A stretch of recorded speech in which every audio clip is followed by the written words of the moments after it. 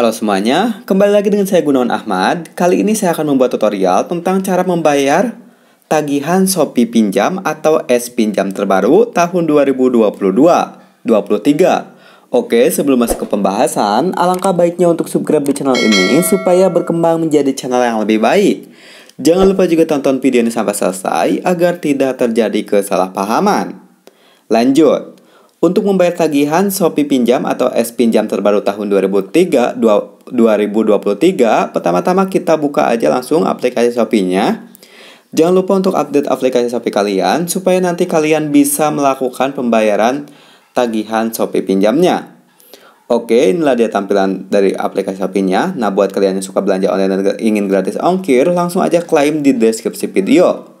Oke, selanjutnya kita ke pembahasan cara membayar tagihan Shopee pinjamnya. Langsung aja kalian masuk ke menu saya.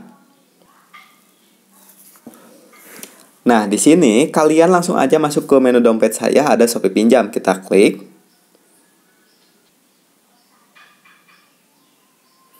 Oke, nah di sini saya mempunyai pembayaran bulan ini yang harus dibayar yaitu jatuh temponya tanggal 5 Februari. Kita langsung aja klik bayar sebanyak 846.000 kita bayar.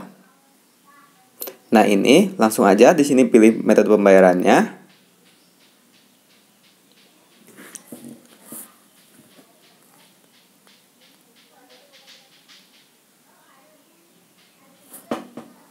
ada ding, ada dengan Shopee Pay, Mitra Shopee, Alfamart, Indomaret, dan Transfer Bank. Kita pilih Transfer Bank dan menggunakan Bank BRI. Selanjutnya kita klik bayar.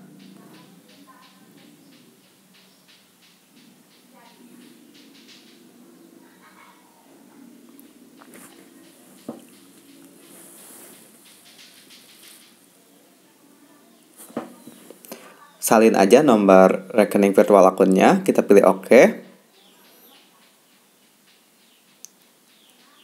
Selanjutnya, kita langsung aja buka ke Bank BRI virtual Bank BRI bukan BCA tapi BRI.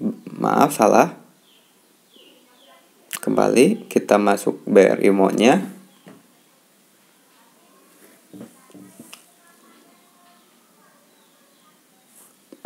Oke, kita login. Nah, di sini kalian masuk aja ke Bripa. Langsung pembayaran baru. Masukkan nomor yang tadi kita copy, lalu lanjutkan. Bayar aja langsung. Oke, transaksi pun telah berhasil.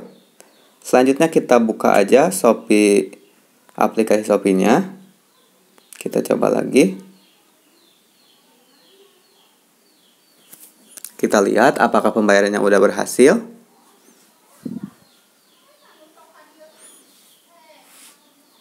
Dan lihat, kamu telah melunasi tagihan terakhir atau pembayaran bulan ini telah berhasil. Dan limitnya udah kembali lagi. Oke, itulah dia tutorial cara membayar tagihan Shopee Pinjam terbaru tahun 2023. Jangan lupa untuk like, comment, share, and subscribe. Akhir kata, thank you and bye-bye.